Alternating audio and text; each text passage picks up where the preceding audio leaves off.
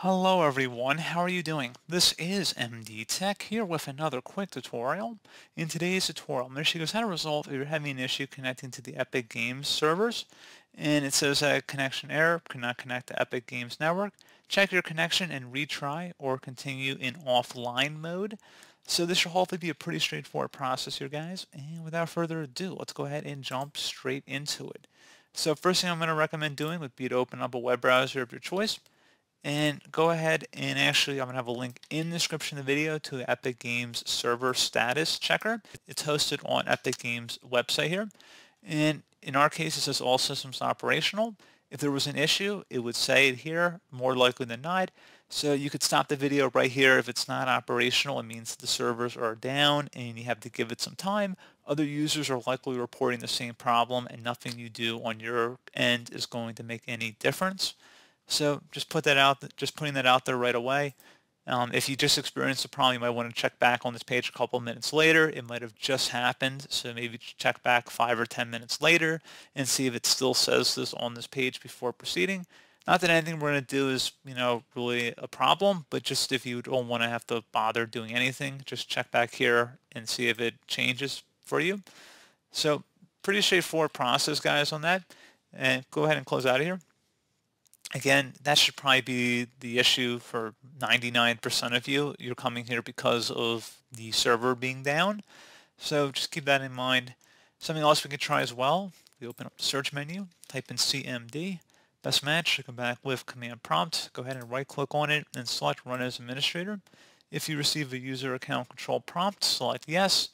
And now into this elevated command line window, type in ipconfig space forward slash flush DNS Flush DNS should all be one word attached to that forward slash out front. Hit enter on your keyboard. Should come back a Windows IP configuration, successfully flushed the DNS resolver cache. And now you also want to type in netsh space winsock, W-I-N-S-O-C-K space reset, exactly how you see it on my screen. Hit enter on your keyboard. Should come back with successfully reset the WinSock catalog. You must restart the computer in order to complete the reset. Close out of here and restart your computer.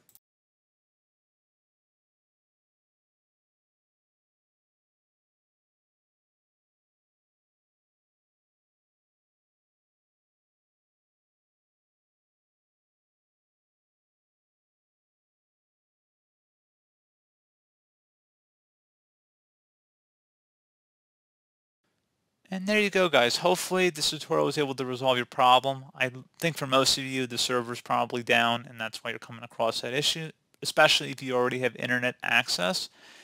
I should point out if you're not getting any internet access at all, that's a completely different problem. That has nothing to do with Epic Games at all.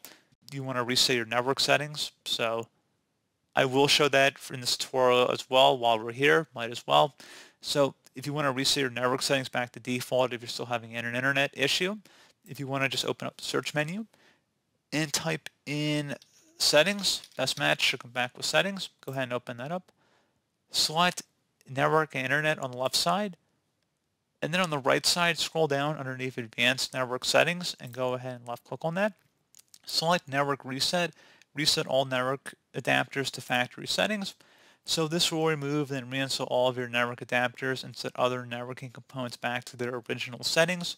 You might need to reinstall other networking software afterwards, such as VPN client software or virtual switches. Your PC will be restarted. Select the Reset Now button. Are you sure you want to reset your network settings? Make sure you have your Wi-Fi credentials nearby because once you select yes, you will have to restart your computer and you will need to enter back in your Wi-Fi credentials once your computer restarts. So make sure you have them nearby before you select yes. So go ahead and select that. Going to be signed out within five minutes. So I'm just going to manually restart my device here and I would suggest that you guys do the same.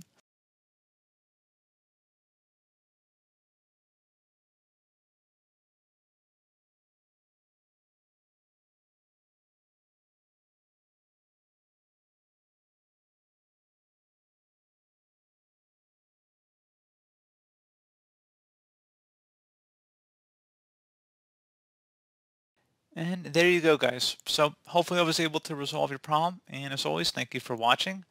I do hope I was able to help you out, and I do look forward to catching you all in the next tutorial. Goodbye.